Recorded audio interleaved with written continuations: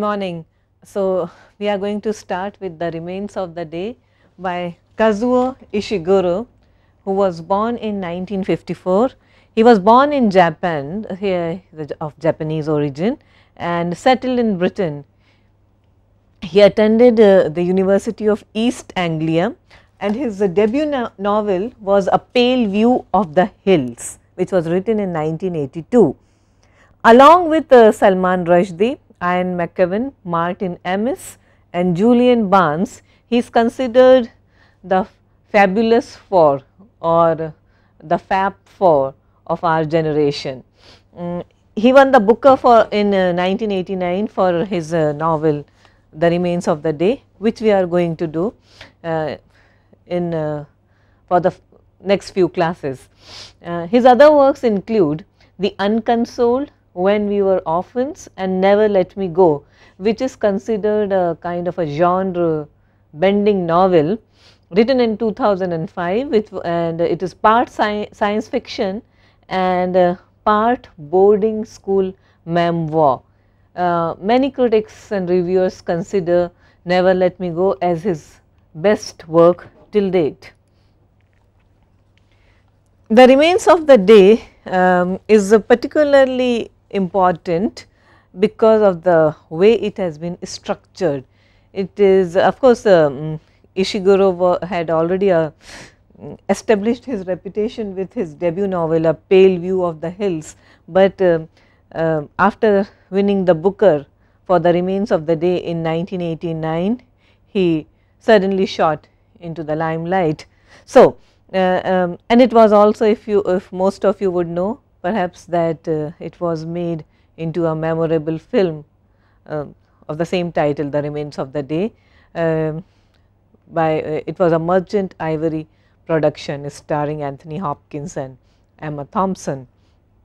So, in uh, uh, the novel has three main characters Mr. Stevens, Miss Kenton and Lord Darlington. I will erase this.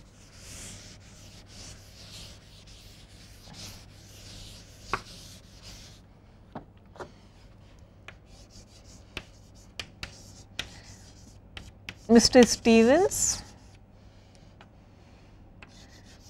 Miss Kenton and Lord Darlington.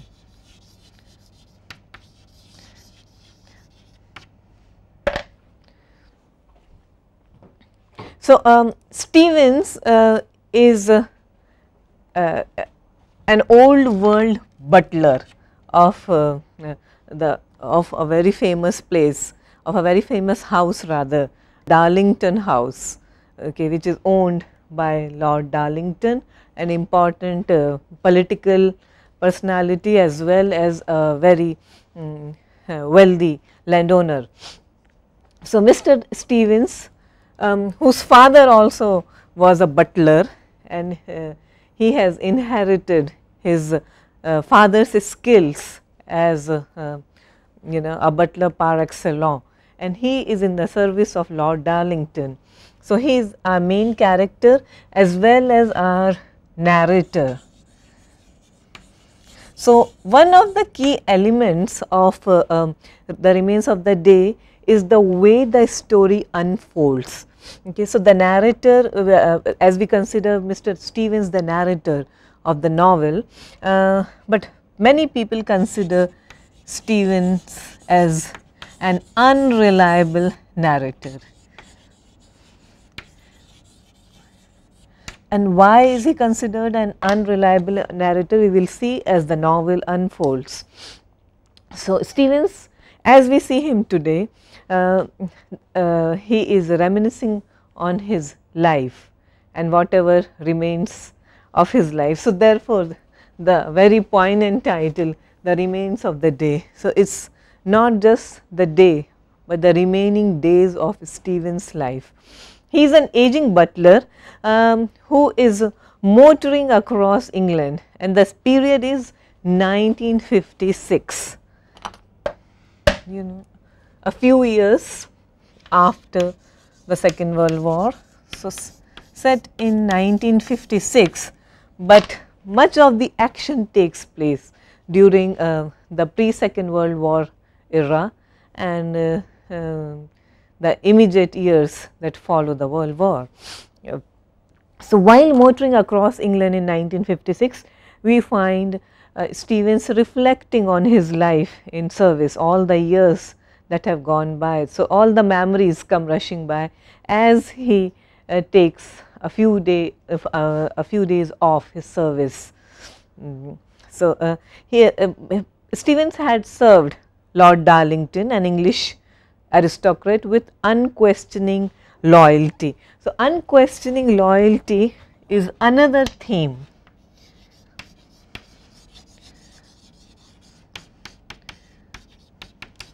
of the remains of the day.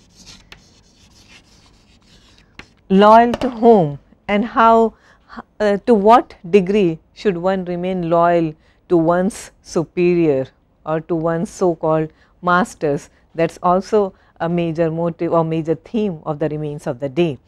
Um, Stevens is described as a person who had uh, uh, an unwavering faith in Lord Darlington's greatness and what is that greatness we will soon see.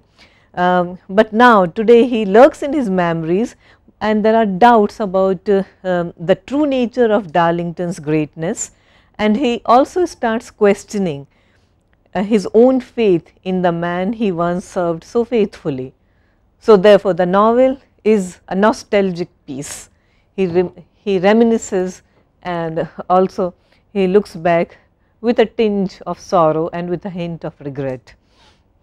So, um, coming back to the major themes of the novel, what we can say is uh,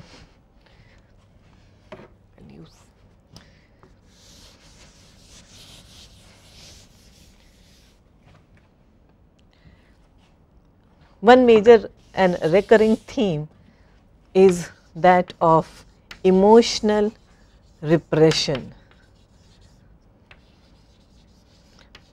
We have already seen that it is also a story of unquestioning loyalty. Um, Ishiguro is also concerned with how public image or how public world impinges upon private selves, the way you conduct yourselves in public and the way you are actually uh, in private life. So, how do these collide? How do these two worlds um, collapse into each other? Uh, the remains of the day is also a story of tragic self deceptions and self justifications.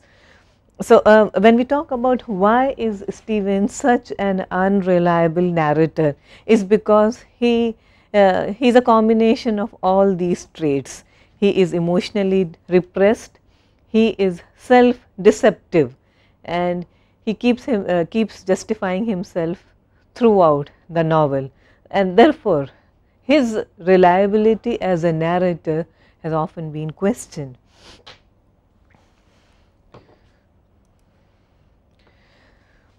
Uh, one particular characteristic of Stevens' uh, uh, role is the values he represents. Okay and uh, this has often been uh, taken as a hallmark of Ishiguro's writing. He says a lot uh within uh, a very limited space. So, um, he compresses, but he also suggests a, a lot. So, what we find in Stevens' characters are the values he represents and what are those values? First, knowing one's place in a social hierarchy and when we talk about having unquestioning loyalty towards one's superior. That means that we are great believers in the ideals or in the ideas of social hierarchy. Um, uh, Ishiguro through Stevens also questions one's belief in great, in the so called great leaders and remember we are talking about um, uh, uh, the period uh, of the second world war and the few years preceding the second world war and then of course, um, uh, the unquestioning loyalty to authority. So, all these serve the anti-democratic political tendencies of the time in which the remains of the day is set. So, the novel can be read as a book of nostalgia and memory, an exploration of the relationship of the ordinary people to politics and diagnosing the social and psychological conditions in which fascism can take root and thrive. The setting is England and uh, the key places that uh, uh, Ishiguro um, takes us to are uh, of course Darlington Hall where most of the action is uh, uh, um, focused, then Salisbury, Dorset, Somerset, Devon, Cornwall and Weymouth. So, all these are um, uh, places in England and we come across these places as Stephen Stevens motors through the countryside. Now, uh, one important or one uh, uh, major thing about uh, the remains of the day is the way Ishiguro, Ishiguro chapterizes the novel. So, it begins with the prologue and the prologue is uh, its title as prologue July 1956 Darlington Hall that means we are uh, from the beginning we are told that uh, which the specific era and the specific time, uh, specific space and place of the novel, the setting of the novel. Then we have day one as Stevens starts motoring through the British English countryside. So, we have evening Salisbury, day 1, day 2 morning Salisbury, day 2 again afternoon Mortimer Pond in Dorset, day 3 morning Taunton, Somerset, Day 3 evening Moscombe near uh, Tavistock, Devon. Mm, day 4 afternoon Little Compton, Cornwall and day 6 uh, just notice that day 5 is missing. Day 6 evening Weymouth. Okay. So, these this is the way he uh, constructs or structures the novel. Now, when we look at, uh, at uh, chapterization like this, um, what impression do we get? We get the impression that uh, perhaps the novel begins at a place called Darlington Hall, but uh, it is spread over a period of uh, 5 or 6 days and the action is centered on all these places you know uh, which are mentioned here, but it is not. This is not the way the action actually takes place. The novel rather is deceptively titled and deceptively chapterized. So, although it alludes to certain days and places and raises expectations of a record of events that occurred on specific days at specific uh, um, places much like a diary, it looks, it gives the impression of, uh, of a memoir, of a diary. However, the balance tilts heavily in favor of Darlington Hall.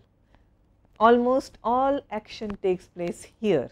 Okay. So, it is actually is Mr. Stevens memories of Darlington Hall from all those years ago. So, in a way Stevens 6 day motor travel through the English countryside turns into a time travel and becomes a journey of memories. What actually uh, what we actually find is a review of what his life has amounted for him. So, as we find narration of occurrences in the present and description of the scenic delights of the countryside, um, we feel that uh, less narrative space is occupied in these place, uh, places and more in the re remembrance of the past.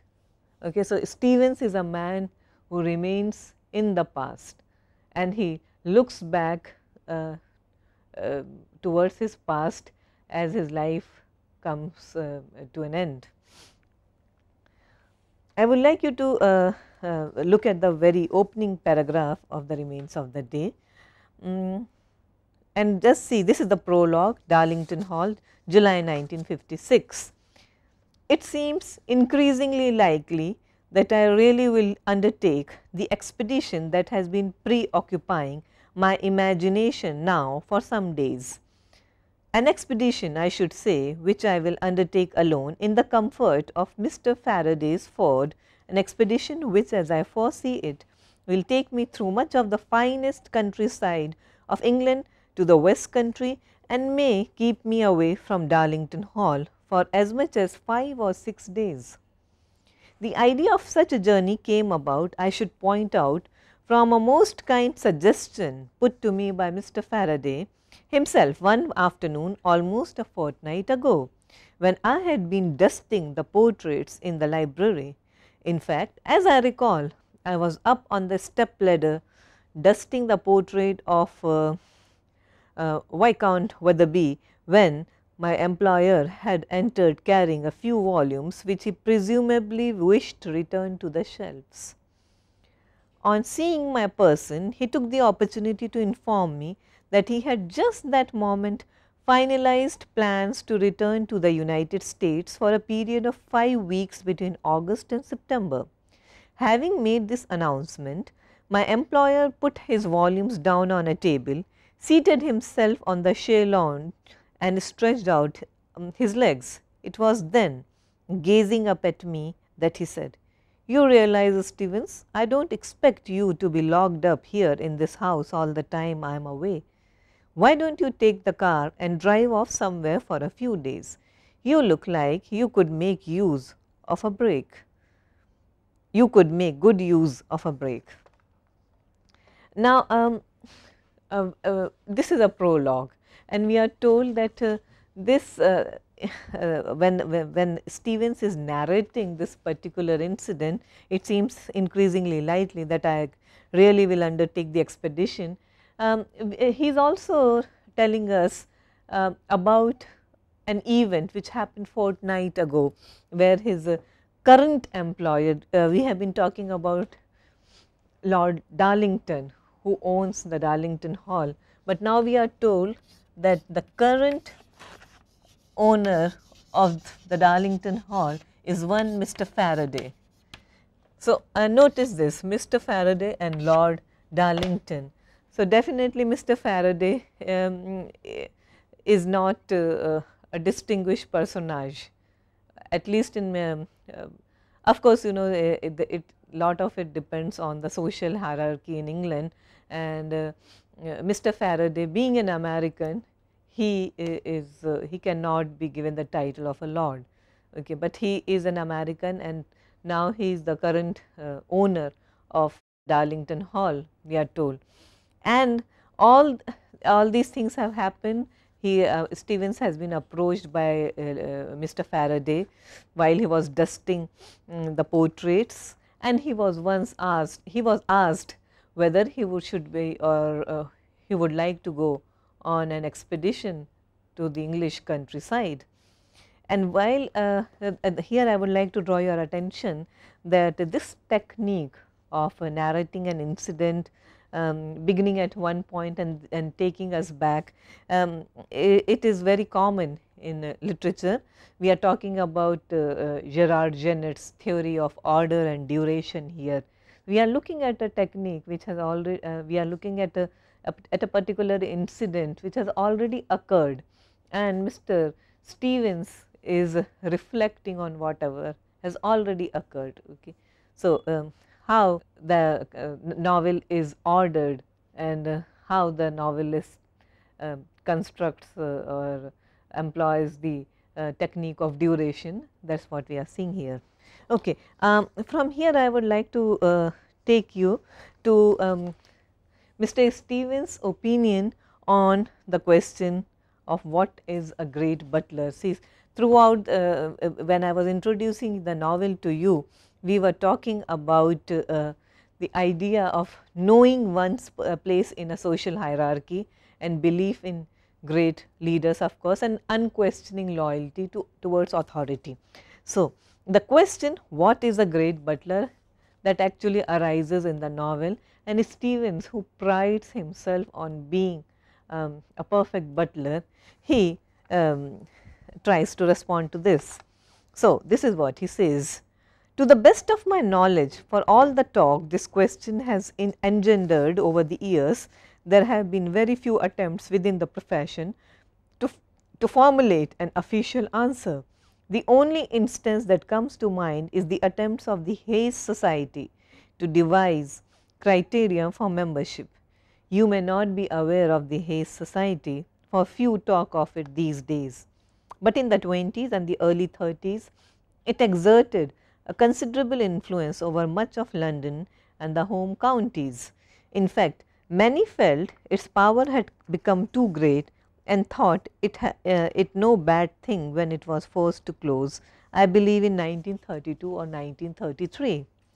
The Hayes Society claimed to admit butlers of and it is in uh, open uh, inverted commas only the very first rank. So, when we talk about social hierarchy, belief in the so called um, uh, stratifications and ranks in society, then um, mm, there are very few countries that can beat England and here we find a very good example of uh, uh, how the idea of stratifications um, permeates down uh, from top to bottom. So, there are there are rankings even among the butlers and what the, the, the only criteria for uh, getting a membership to this Hayes society was uh, uh it, it will admit butlers of only the very first rank. Now, what is the very first rank? Much of the power and prestige it went on to gain derived from the fact that unlike other such organizations which have come and gone, it managed to keep its numbers extremely low, thus giving this claim some credibility. Okay, so, uh, uh, it was like uh, very difficult to get membership to the Hayes society because they would admit people only uh, who were um, the so called first rank butlers and therefore, the membership was extremely um, difficult to get and uh, naturally there were very few members. Membership it was said never at any point rose above 30 and much of the time remained closer to 9 or 10. This and the fact that Hayes Society tended to be a rather secretive body lent it much mystique for a time, ensuring that the pronouncements it occasionally issued on professional matters was received as though when on tablets of stone. So, it was like 10 commandments. The reference here is uh, to uh, Moses' 10 commandments, uh, you know, um, uh, uh, uh, professional certain, you know, sayings which are engraved on stone which cannot be challenged. So, we are talking about that kind of society. But one matter the society resisted pronouncing on for some time was the question of its own criteria for membership. Pressure to have these announced steadily mounted and in response to a series of letters published in a quarterly for the gentleman's gentleman, the society admitted that, the, that a prerequisite for membership was that an applicant be attached to a distinguished household. Though of course, the society went on, this by itself is far from sufficient to satisfy requirements. It was made clear furthermore that the society did not regard the houses of businessmen or the newly rich as distinguished. And in my opinion, this piece of outdated thinking crucially undermined any serious authority the society may have achieved to arbitrate on standards in our profession. So, who are the people who are not considered uh, first rank households? Um, the newly rich and uh, uh, uh businessmen. So, one has to be uh, a, a, born aristocrat and how do you define that? And that, that was the job of uh, the society. So, they would accept only those people who were in the service of the really distinguished and the really aristocratic households. So, naturally you know, tall demands and it was very difficult to get in.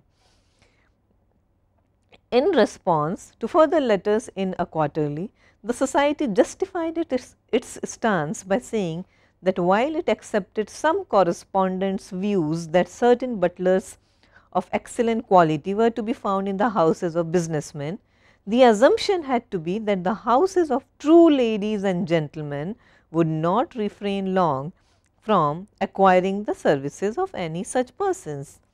One had to be guided by the judgment of the true ladies and gentlemen, argued the society, or else we may as well adopt the prop uh, proprieties of Bolshevik Russia. So, you see England is really sophisticated, whereas Russia is not a, perhaps is a country uh, of you know of very common people.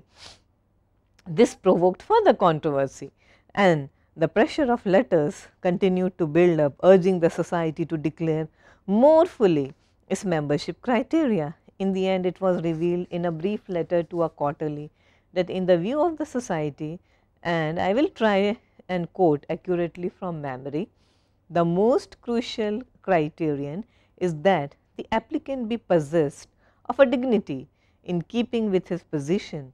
No applicant will satisfy requirements whatever his level of accomplishments otherwise uh, if seem if seen to fall short in this respect. For all my uh, lack of enthusiasm for the Hayes Society, it is my belief that this particular pronouncement at least was founded on a significant truth. If one looks at these persons we agree are great butlers, if one looks at say Mr. Marshall or Mr. Lane, it does seem to me that the factor which distinguishes them from those butlers who are mere extremely competent is most closely captured by this word dignity. And what is dignity, what is true dignity? uh, according to Mr. Stevens is again um, exhibiting grace under pressure, exhibiting unquestioning loyalty to um, the masters and uh, knowing their place in the social hierarchy. And what Ishiguro does in the remains of the day is question these uh, um, stagnated beliefs. What happens to a society when uh, its people themselves believe unquestioningly in the greatness of their leaders. What happens uh, to a society when people uh, keep their opinions to themselves because they have an unflinching faith uh, uh, in their uh, in the the so called upper in their upper crust, crust of society what happens and that, that the, according to Ishiguro, um, there is trouble ahead if we encourage these tendencies. And now I will take you to the place when we find the uh, uh, other important character um, from the remains of the day and which is uh, Miss Kenton. Okay. So, um, Miss Kenton is uh, one of the housekeepers who is employed by Mr. Stevens. See, Mr. Stevens is a butler. His uh, duties include uh, taking care of Lord Darlington's uh, personal needs and also running the household very efficiently, so that the master is not disturbed with the uh, you know day to day problems of running the household. And uh, um, another important fact is, is uh, that mm, there is no lady in the house.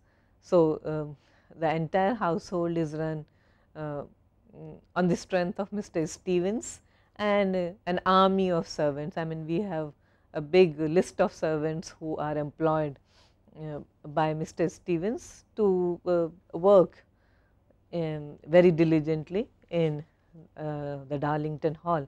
And Miss Kenton is the housekeeper who has recently been recruited by Mr. Stevens. And the moment we see Mr. Uh, Miss uh, Kenton, um, we meet Miss uh, uh, Kenton, we know that she is everything that uh, that Stevens is not, and there therein lies the conflict in this story because these two are poles opposite. Okay, one is total order that is Mr. Even, Mr. Stevens, and Miss Kenton is uh, uh, quite a rebel. She questions, she interrogates. She is not the one who takes things um, uh, lying down and therefore, mm, much of this story is about uh, the conflict between these very strong characters, Mr. Stevens and Miss Kenton. Um, before we meet uh, Miss Kenton, uh, we will go to this past place. Uh, this is uh, the chapter is day 2 morning in Salisbury. Mr. Stevens uh, wakes up uh, in a small hotel in Salisbury and says, Strange beds have rarely agreed with me and after only a short spell of somewhat troubled slumber, I awoke an hour or so ago. It was then still dark and knowing I had a full day's motoring ahead of me, I made an attempt to return to sleep. This proved futile and when I decided eventually to rise, it was still so dark that I was obliged to turn on the electric light in order to shave at the sink in the corner. But when having finished, I switched it off again, I could see early daylight at the edges of the curtains. When I parted them just a moment ago, the light outside was very pale and something of a mist was affecting my view of the baker's shop and chemist's opposite. Indeed, following the street further along to where it runs over the little round bagged bridge, I could see the mist rising from the river, obscuring almost entirely one of the bridge posts. Now, in these quiet moments, as I wait for the world about to awake, I find myself going over in mind again passages from Miss Kenton's letter. Incidentally, I should before now have explained myself as regards my referring to Miss Kenton. Miss Kenton is properly speaking Mrs. Benn. So, now we are told that uh, uh, Miss Kenton left Darlington Hall years ago uh, to get married and she is now Mrs. Benn. Mr. Stevens has recently received a letter from uh, Miss Kenton that she would be receiving him at uh, one of the countryside inns and uh, this was all the more reason to um, for Mr. Stevens to leave uh, Darlington Hall and uh, drive down to the place because he is uh, he was uh, indeed quite fond of Miss Kenton and he would like to meet her again. Miss Kenton is properly speaking Mrs. Benn and has been for 20 years. So, she has been married for 20 years. However, because I knew her at close quarters only during her maiden years and have not seen her own, uh, once since she went to the west country to become Mrs. Benn, you will perhaps excuse my impropriety in referring to her as I knew her and in my mind have continued to call her throughout these years. Of course, her letter has given me an extra cause to continue thinking of her as Miss Kenton, since it would seem sadly that her marriage is finally to come to an end. The letter does not make specific the details of the matter as one would hardly expect it to do, but Miss Kenton states unambiguously that she has now in fact taken the step of moving out of Mr. Benn's house in Helston and is presently lodging uh, with an acquaintance in the nearby village of Little Compton. It is of course tragic that her marriage is now ending in failure. Okay, so, when we are talking about day 1 and day 2 and day 3, um, this is the place 4 afternoon Little Compton, Cornwall and this is where um, the much anticipated meeting of Mr. Stevens and Miss Kenton, now Mrs. Benn is going to take place after about 20 years and whatever Mr. Stevens um, may admit to himself, he is actually looking forward to meet, meeting Miss Kenton.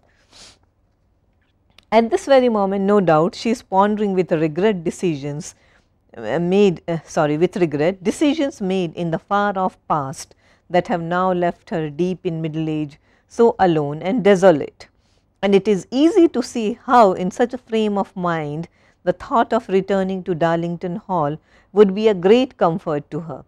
Admittedly, she does not at any point in her letter state explicitly her desire to return, but that is the unmistakable message conveyed by the general nuance of many of the passages imbued as they are with a deep nostalgia for her days at Darlington Hall.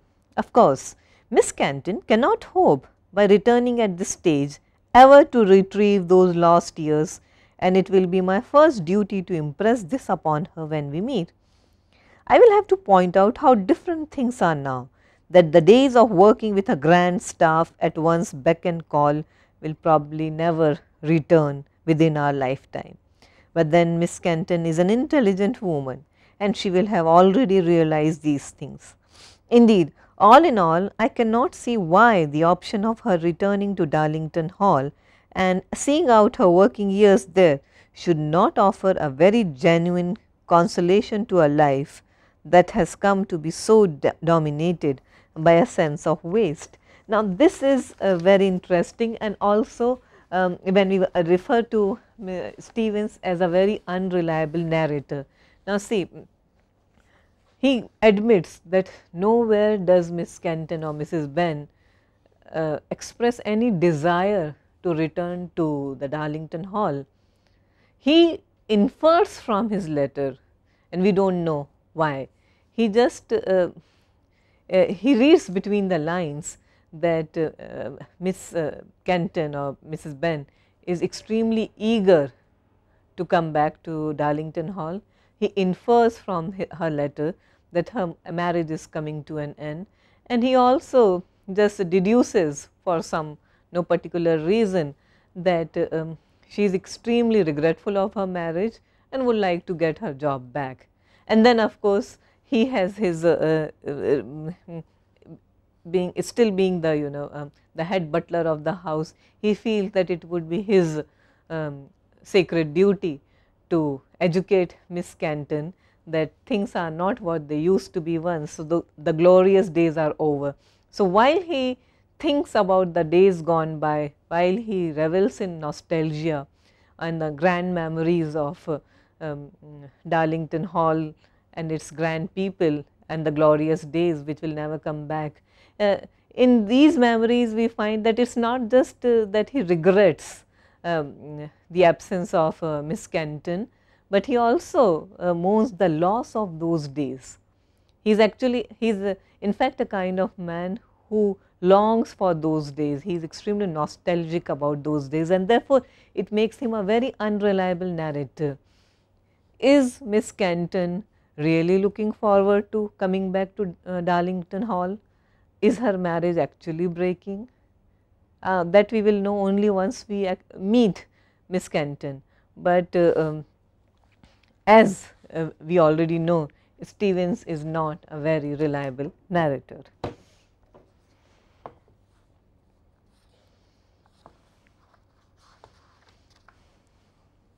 We will go on to page 58 when uh, and the chapter is still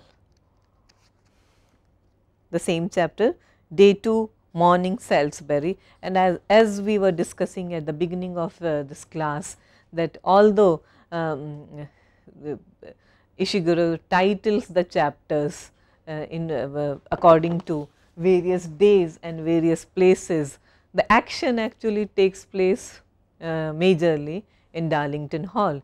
So, while he is uh, reminiscing about Darlington Hall and Miss Kenton, while he is in Salisbury, we are suddenly transported to Darlington Hall.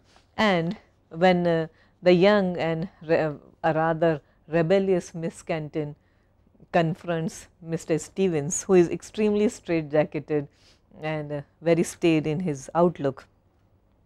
Uh, so, now this scene or rather this passage is on page 57. Uh, I am reading you uh, uh, lines by Miss Kenton and Mr. Stevens. Mr. Stevens, I have just noticed something outside which puzzles me. What is that, Miss Kenton? Uh, was it his lordship's wish that the Chinaman on the upstairs landing should be exchanged with the one outside this door? The Chinaman, Miss Kenton? Yes, Mr. Stevens, the Chinaman normally on the landing you will now find outside this door. I fear, Miss Kenton, that you are a little confused.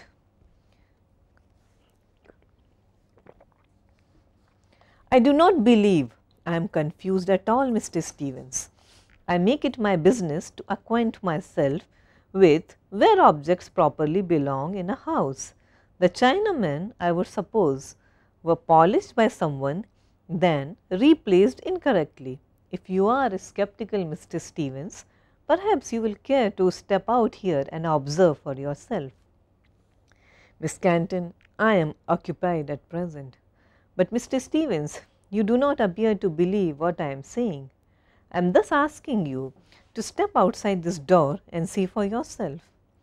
Miss Kenton, I am busy just now and will attend to the matter shortly. It is hardly one of urgency. You accept then, Mr. Stevens, that I am not in error on this point. I will accept nothing of the sort, Miss Kenton, until I have had a chance to deal with the matter.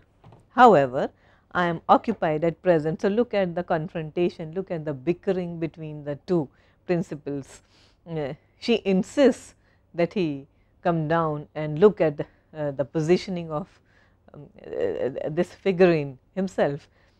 And uh, Mr. Stevens uh, is quite convinced that Miss Kenton is correct and therefore, he is not willing to face that there has been a lapse in the household because remember he prides himself on being um, on his exactness on his uh, uh, being a perfect uh, butler and now he knows that uh, Miss Kenton has uh, somehow uh, caught a very trivial a very minor um, mistake in the running of the household. The statue has been placed in a wrong way and for Miss she makes a big deal out of it because um, this is her way of uh, um, hitting out at Mr. Stevens who demands perfection. So, in her own uh, little way she is trying to tell Mr. Stevens that it is not always possible to be so perfect. You accept then Mr. Stevens that I am um, not in error on this point I will accept nothing of the sort. So, he is not the kind of man who would accept uh, his faults until I have had a chance to deal with the matter. However, I am occupied at present. I turned back to my business, but Miss Kenton remained in the doorway observing me. Eventually, she said, I can see you will be finished very shortly, Mr. Stevens. I will await you outside so that this matter may be finalized when you come out. Miss Kenton, I believe you are according this matter an urgency it hardly merits. But Miss Kenton had departed and sure enough as I continued with my work an occasional footstep or some other sound would serve to remind me she was still there outside the door. I will skip a few lines and I will uh, come to the point. Mr. Stevens, that is the incorrect Chinaman, would you not agree? She, so she points it out. Miss Kenton, I am very busy. I am surprised you have nothing better to do than stand in corridors all day. Mr. Stevens, is that the correct Chinaman or is it not? Miss Kenton, I would ask you to keep your voice down. And I would ask you, Mr. Stevens, to turn around and look at that Chinaman. Miss Kenton, please keep your voice down. What would employees below think to hear us shouting at the top of our voices about what is and what is not the correct Chinaman. The fact is Mr. Stevens, all the Chinamen in this house have been dirty for some time and now they are in incorrect positions. Miss Kenton, you are being very ridiculous. Now, if you will be so good as to let me pass. Mr. Stevens, will you kindly look at the Chinaman behind you? If it is so important to you, Miss Kenton, I will allow that the Chinaman behind me may well be incorrectly situated, but I must say I am at some loss as to why you should be so concerned with these most trivial of errors. These errors may be trivial in themselves, Mr. Stevens, but you must yourself realize their larger significance. Miss Kenton, I do not understand you. Now, if you would kindly allow me to pass. The fact is, Mr. Stevens, your father is entrusted with far more than a man of his age can cope with. So, now we are in, introduced to another character Mr. Stevens father, the old Mr. Stevens or um, Mr. Stevens the senior and who, who was a great butler in his own days. But and uh, if you remember in, at the beginning we were talking about what defines or what makes a great butler and for uh, our hero Stevens his father Stephen senior made uh, for the perfect butler, the, a great butler because he had that elusive quality, um, a quality which cannot be exactly defined, you know, the so called idea of dignity. What is dignity and what is dignity in a butler? But uh, both uh, senior and junior, they pride themselves on possessing this quality and they uh, regard themselves as great butlers. So, now we find that old Mr. But, uh, Stevens, uh, the aging butler, he is get he is getting very old and but he is still employed in some capacity by Mr. Stevens uh, junior. so, the son has employed his son uh, sorry his father in some capacity and the father still takes great pride in uh, managing the household he, in assisting his son. He also takes great pride in his son's so called success because being a successful butler in such a great house is a hallmark of uh, uh, great prestige and they all revel in it.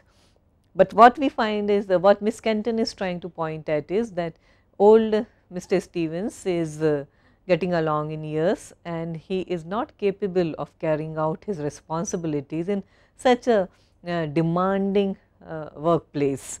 And um, what she is suggesting is that uh, Mr. Mm, Stevens should uh, um, burden his father less with the household duties. Miss Kenton, you clearly have little idea of what you are suggesting. So, he is outraged the very idea that his, uh, uh, his uh, choice or, or, rather you know his position has been questioned because remember we are talking about hierarchies.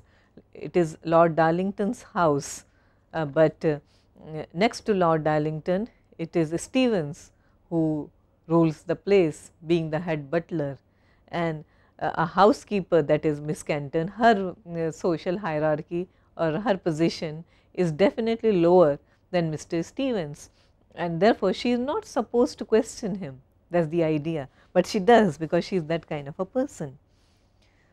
Whatever your father was once Mr. Stevens, his powers are now greatly diminished.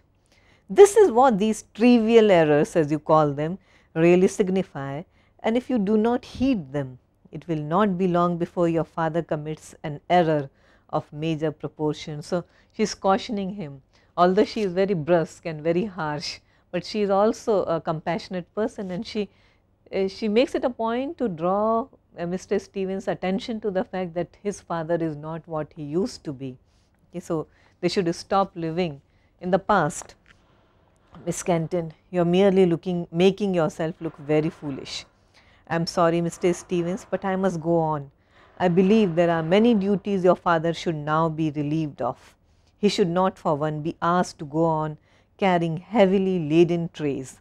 The way his hands tremble as he carries them into dinner is nothing short of alarming. It is surely only a matter of time before a tray falls from his hands onto a lady or gentleman's lap. And furthermore, Mr. Stevens, and I am very sorry to say this, I have noticed your father's nose. Have you indeed, Miss Kenton? I regret to say I have, Mr. Stevens. The evening before last, I watched your father proceeding very slowly towards the dining room with his tray, and I am afraid I observed clearly a large drop on the end of his nose dangling over the soup bowls. I would not have thought such a style of waiting a great stimulant to appetite. She is being very brusque, she is being rude perhaps, but she is also being very truthful. Again, truth hurts. Stevens is not willing to accept that his father is way past his prime and Miss Kenton is trying to point out that nothing lasts forever, one should stop living in nostalgia. the decline of the great Mr. Stevens, um, the senior, is a very good example that nothing lasts forever and one, one has to stop living in the past. At this point, we will uh, uh, end the class and we will continue tomorrow. Thank you.